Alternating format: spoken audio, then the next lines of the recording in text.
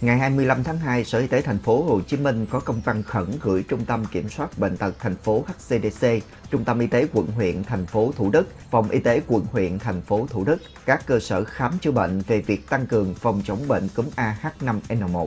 Trong đó, Sở Y tế đề nghị HCDC triển khai các biện pháp giám sát chặt người nhập cảnh đi đến ở từ vùng có dịch cúm AH5N1 và phối hợp với các trạm kiểm dịch động vật trong giám sát gia cầm, thủy cầm vào Việt Nam qua cửa khẩu.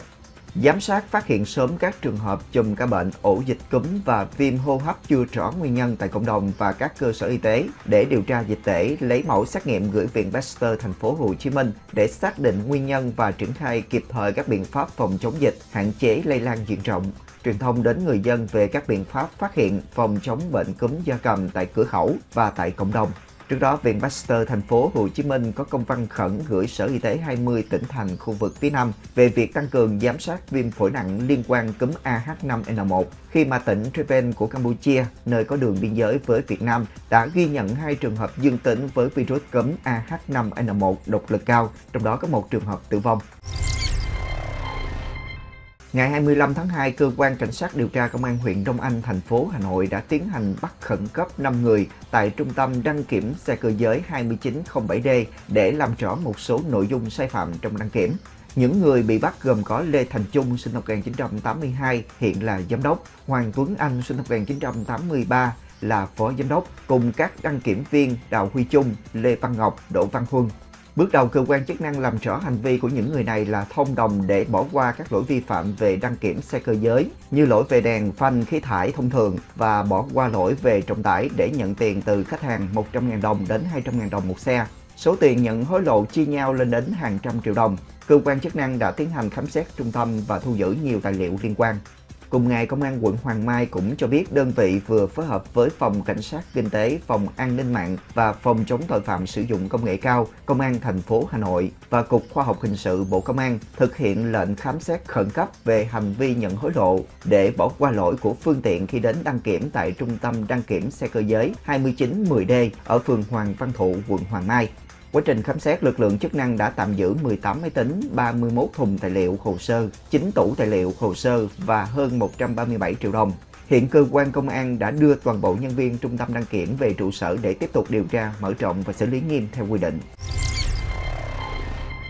Cơ quan Cảnh sát điều tra Bộ Công an vừa hoàn tất kết luận điều tra vụ án sai phạm trong đấu thầu tại Sở Giáo dục Đào tạo tỉnh Quảng Ninh, đồng thời chuyển hồ sơ đề nghị truy tố 15 bị can, trong đó có bà Vũ Liên Oanh, cựu Giám đốc Sở Giáo dục Đào tạo tỉnh Quảng Ninh về hành vi vi phạm quy định về đấu thầu gây hậu quả nghiêm trọng. Từ năm 2016 đến năm 2019, Sở Giáo dục Đào tạo tỉnh Quảng Ninh là chủ đầu tư 6 dự án mua sắm trang thiết bị giáo dục cho các trường mầm non tiểu học. Bị can Vũ Liên Oanh là đại diện chủ đầu tư thực hiện dự án.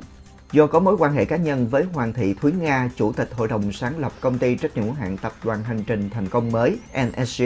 bị can Vũ Liên Oanh đã bàn bạc thống nhất và đồng ý cho NSG thực hiện tặng quà thí điểm cho các trường mầm non cao xanh năm 2016, trường tiểu học Đức Chính năm 2017. Sau đó bị can Oanh cử cán bộ sở cùng nhân viên của Nga đánh giá chất lượng hiệu quả sử dụng làm căn cứ lập dự án. Oanh giới thiệu và giao cho Ngô Vui, cựu trưởng phòng kế hoạch tài chính Sở Giáo dục Đào tạo tỉnh Quảng Ninh, phối hợp với Nga để lập dự án, thực hiện các thủ tục đấu thầu trình các sở ban ngành phê duyệt mua sắm các thiết bị giáo dục do công ty của Nga cung cấp. Bị can Ngô Vui giao cho Hà Huy Long, cựu phó trưởng phòng kế hoạch tài chính Sở Giáo dục Đào tạo tỉnh Quảng Ninh, phối hợp với nhóm nhân viên của Nga gồm 8 người thực hiện các công việc giám sát, lập dự án, lập các báo giá cung cấp cho Sở Tài chính làm căn cứ phê duyệt, thẩm định giá.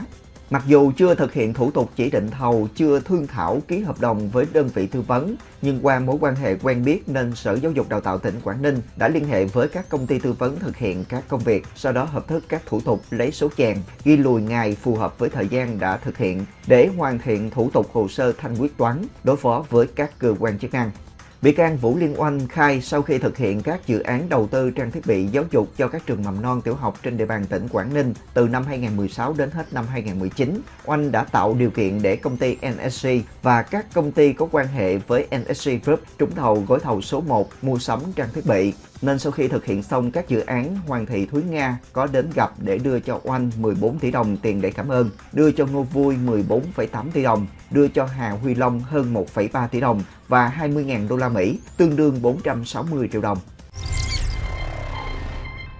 Ngày 25 tháng 2, đoàn công tác của Trung ương do đồng chí Nguyễn Trọng Nghĩa, Bí thư Trung ương Đảng, trưởng ban tuyên giáo Trung ương làm trưởng đoàn đã đến thăm chúc mừng các đơn vị y tế trên địa bàn thành phố Hồ Chí Minh nhân kỷ niệm 68 năm Ngày Thầy thuốc Việt Nam 27 tháng 2 năm 1955, 27 tháng 2 năm 2023. Đến thăm Bệnh viện Chợ Rẫy, đồng chí Nguyễn Trọng Nghĩa đánh giá đây là đơn vị tiêu biểu trong công tác khám chữa bệnh, chăm sóc sức khỏe nhân dân tuyến cuối khu vực phía Nam. Bệnh viện đã không ngừng đạt được những thành tựu đáng khích lệ trong phát triển chuyên môn, kỹ thuật. Bên cạnh đó còn thực hiện tốt công tác chỉ đạo tuyến, nghiên cứu khoa học, đào tạo nhân lực. Đồng thời hy vọng tập thể y bác sĩ bệnh viện sẽ tiếp tục phát huy các thành quả đã đạt được, tiếp nối truyền thống đáng tự hào của một bệnh viện có bề dày lịch sử hơn 120 năm thăm và chúc mừng tập thể cán bộ nhân viên y tế Bệnh viện Quân y 7A. Đồng chí Nguyễn Trọng Nghĩa nhấn mạnh, Bệnh viện 7A cần chú trọng đẩy mạnh phát triển y tế kỹ thuật cao nhằm phục vụ tốt hơn nữa nhu cầu chăm sóc sức khỏe của quân nhân và cả người dân. Cùng với đó phát huy hơn nữa thương hiệu uy tín của một đơn vị quân y, hướng về y tế cơ sở, nhất là chăm sóc sức khỏe cho quân và dân các khu vực biển đảo.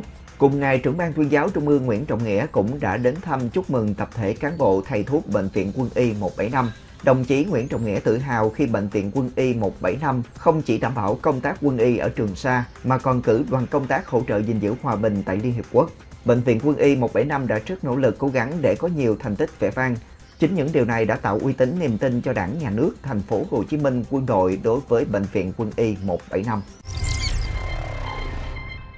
Sáng 25 tháng 2, Ủy ban Nhân dân tỉnh Tiền Giang khánh thành đưa vào hoạt động Bệnh viện Đa khoa tỉnh Tiền Giang có trụ sở tại xã Phước Thạnh, thành phố Mỹ Tho. Công trình do Ban Quản lý Dự án Đầu tư xây dựng công trình dân dụng và công nghiệp tỉnh Tiền Giang làm chủ đầu tư, triển khai thi công từ năm 2017 với tổng kinh phí xây dựng là 2.350 tỷ đồng. Bệnh viện Đa khoa tỉnh Tiền Giang có quy mô 1.000 giường bệnh, xây dựng trên diện tích hơn 10 hectare với bốn khu chức năng chính gồm có khối nhà chính, khối nhà dinh dưỡng, khối nhà truyền nhiễm và các công trình phụ trợ khác. Đây là một trong những bệnh viện đa khoa có quy mô lớn phục vụ chăm sóc sức khỏe nhân dân trong và ngoài tỉnh.